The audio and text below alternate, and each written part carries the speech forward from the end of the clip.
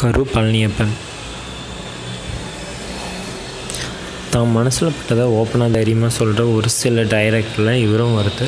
இப்போ ரீசெண்டாக நடந்த ஒரு ஆடியோ லான்ச்சில் தமிழ்நாட்டில் இப்போ முன்னணியில் இருக்கிற ரெண்டு ஹீரோவை ஒருத்தர் உயர்ந்தியும் இன்னொருத்தரை தாழ்ந்தும் பேசியிருக்காங்க. அது யாருங்கிறத பார்க்கலாம். சிவகார்த்திகேயனை சிவகார்த்திகேயன் படத்தில் நடிக்கிறத விட்டுட்டு பொது மேடையில் அழுகிறதும் ப்ரொடியூசருக்கு கார் இல்லை அப்படின்னு சொல்லி ஃபீல் பண்ணுறதும் இந்த மாதிரி ஃபீல் பண்ணி ஆடியன்ஸை தேட்டருக்கு வர வைக்கிறாரு அப்படின்னு சொல்லி சொல்லியிருக்காங்க. விஜய் சேதுபதி என்ன சொல்லியிருக்காரு அப்படின்னா அந்த காலத்து சிவாஜி மாதிரி என்ன ரோல் கொடுத்தாலும் அதை சிறப்பாக செய்கிறவர் விஜய் சேதுபதி அப்படின்னு சொல்லி கமெண்ட் பண்ணியிருக்காரு. அதே ஸ்டேஜில் ஓப்பனாகவும் சொல்லியிருக்காரு.